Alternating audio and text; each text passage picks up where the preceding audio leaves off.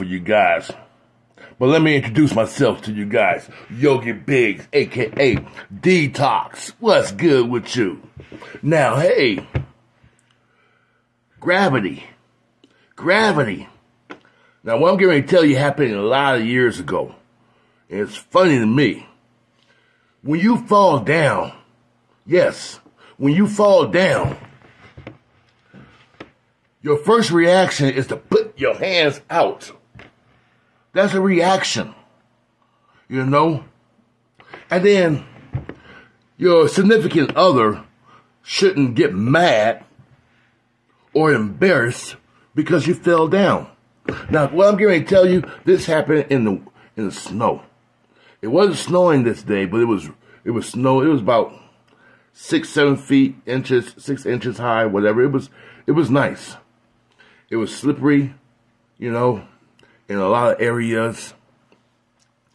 And this guy and his girlfriend, they was walking down on the sidewalk, you know, by a school. And she lost her balance.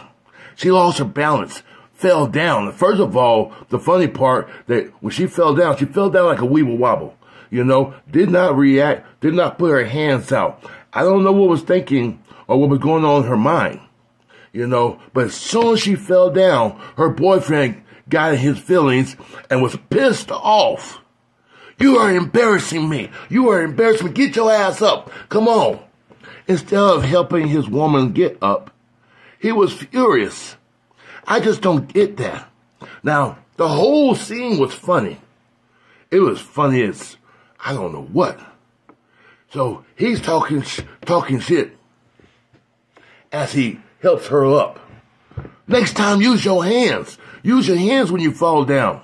Of course, she reacted by trying to slap and punch him, you know what I mean? Because he was being all aggressive about, by when he picked her up off the ground, you know?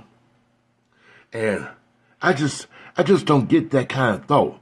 What man would get so mad that his woman fell down? If it was my woman, baby, hey, let me help you out. You know what I mean? Are you okay? These are the responses I would give to my my woman. You know, what kind of training did he have from his parents?